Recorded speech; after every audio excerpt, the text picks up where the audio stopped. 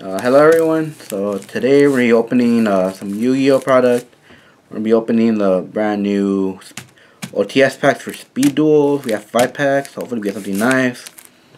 Um, looking for the new Red Eyes, from the Red Eyes from here, the Blue Eyes, Dark Magician, or Dark Magician Girl would be nice. Alright, let's get started. And then from what I see, you always get two holos, which is pretty nice.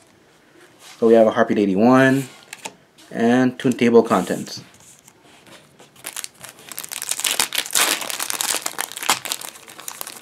see what else we got. Elegant Egotist and Wonder One.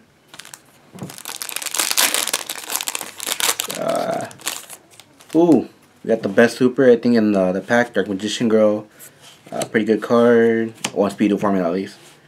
Uh, Laura Dragons, but uh, for know collectors are looking for this right now, so hopefully we get another one.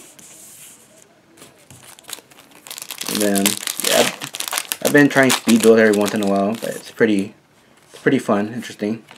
Ooh, we got a Time Wizard and Flute of Summoning Dragon. Pretty nice. Last pack.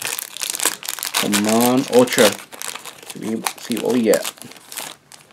So we have another Toon Table of Contents and Great Keeper's Priestess.